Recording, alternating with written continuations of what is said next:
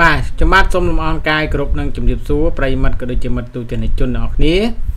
ដែលអឺចូលរួមតាមដានសម្ដាប់នឹងទេសនានៅព័ត៌មានថ្មីថ្មីតាក់ទងទៅនឹងរថយន្តនៅក្នុង Channel Car Technology នៅព័ត៌មានក៏ដូចជាវីដេអូមុននោះគឺលោកអ្នកបានទទួលការសម្ដាប់បាទនឹងទេសនារួចមកហើយដែលខ្ញុំបាទបានចែករំលែកនៅព័ត៌មានតាក់ទងទៅនឹងរថយន្ត Toyota Land Cruiser Prado បាទឆ្នាំ2024 Spec Gen បាទ ឥឡូវនេះគឺតាក់ទងទៅនឹងរថយន្ត Toyota Camry ចំនួនថ្មីវិញ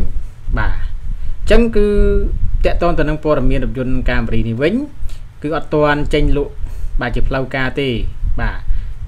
ប៉ុន្តែទទួលបានការកក់ទុកមុនជិត10000គ្រឿងបាត់ទៅហើយបាទខ្លាំងមែនទែនពេញមិនណាបាទអញ្ចឹងដល់យោងតាមប្រភពពីទីផ្សារបរទេសក្រុមហ៊ុនផលិតរថយន្តបណ្ដាក់ទុនរួមគ្នាឈ្មោះថា GAC Toyota បានធ្វើការប្រកាសថាក្រុមហ៊ុនទទួលបានការបញ្ជាទិញទុកមុននៅរថយន្ត Toyota Camry ចំនួនថ្មី បាទ Series ឆ្នាំ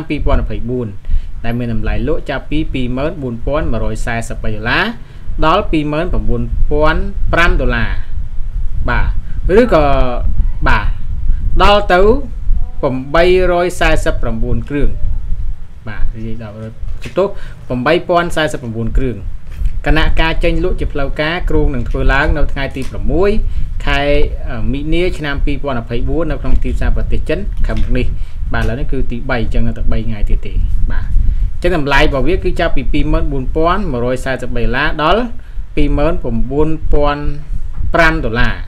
បាទហើយការកក់គឺរហូតដល់8049គ្រឿងទៅហើយឥឡូវនេះបាទអញ្ចឹងគឺ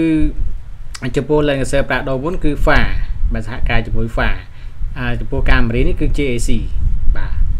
បច្ចុប្បន្ននៅក្នុងវិទ្យាណាចក្រកម្ពុជា គឺមានវត្តមាន GAC ហើយក៏មានអ្នកប្រើប្រាស់ច្រើនដែររថយន្តនេះត្រូវបានផលិតឡើងដោយផ្អែកទៅលើគ្រោងឆ្អឹងប្រភេទ TNGA-K platform សម្រាប់ model កូនកាត់ hybrid និង model ចំហេះក្នុងដំណើរការដោយម៉ាស៊ីនសាំងចំណុះ 2.0L ដូចគ្នាខណៈ model hybrid ចំណុះ 2.5L នឹងបង្ហាញខ្លួននៅពេលក្រោយផងដែរ សម្រាប់ Toyota Camry ស៊េរីឆ្នាំ2024របស់ប្រទេសចិនមានការ design នៅផ្នែកខាងក្រៅដូចគ្នាទាំងស្រុងទៅនឹង model របស់ទីផ្សារសហរដ្ឋអាមេរិកប៉ុន្តែនៅផ្នែកខាងក្នុងមានការរចនាថ្មីទាំងស្រុងដោយមានកុងទ័របង្ហាញព័ត៌មានទំហំ 12.3អ៊ីងនិងអេក្រង់កំសាន្ត Touch Screen ទំហំ 12.3អ៊ីងគ្រប់គ្រងដោយបន្ទះ chip Qualcomm Snapdragon 8155ក៏ដូចជាបានភ្ជាប់មកជាមួយប្រព័ន្ធ scan សម្គាល់មុខជាដើម លើពីនេះក៏ទទួលបាន នៅកញ្ចប់ប្រព័ន្ធសុវត្ថិភាព Toyota Certification 3.0ចុងក្រោយបង្អស់របស់ Toyota ផងដែរបាទប្រិមិត្តនិងមិត្តទូទាំងជននេះគឺជាប្រភេទរថយន្ត Toyota Camry Spec គេហៅថា Spec ចិនបាទឬក៏តៃវ៉ាន់បាទ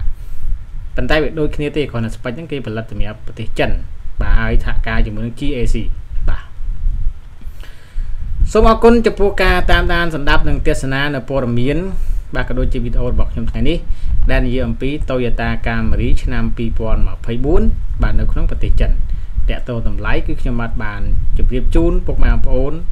រួចមកហើយសម្រាប់ពុកម៉ែបងប្អូនដែលមិនច្បាស់លាស់អាចចូលទៅមើលការពិពណ៌នានៅខាងក្រោមវីដេអូបានខ្ញុំនឹងដាក់ការពិពណ៌នានៅខាងក្រោមវីដេអូផងដែរជាចុងក្រោយគ្រប់ជូនពរដល់ប្រិយមិត្តនិងមិត្តទូទាំងជនអស់គ្នាជួបតែសំណាងល្អមានសុខភាពល្អនិងរកទទួលទានបានគ្រប់គ្រប់គ្នាសូមអរគុណជួបគ្នានៅឱកាសក្រោយទៀត